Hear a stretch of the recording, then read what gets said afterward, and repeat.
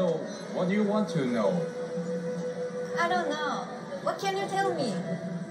Well, do we have a boyfriend right now? No, I don't. Are you happy? Yes, I'm very happy. Then why did you come to a fortune teller? I don't know. I've never been to a fortune teller before. I've always wanted to try it. Okay, I'll tell you what I see.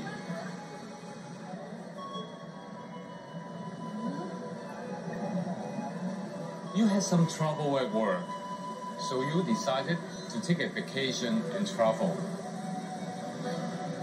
How did you know? I'm a fortune teller. Ah, that's right.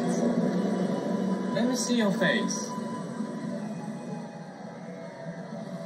Hmm. There will be a man proposing to you within the year. Really? Hmm.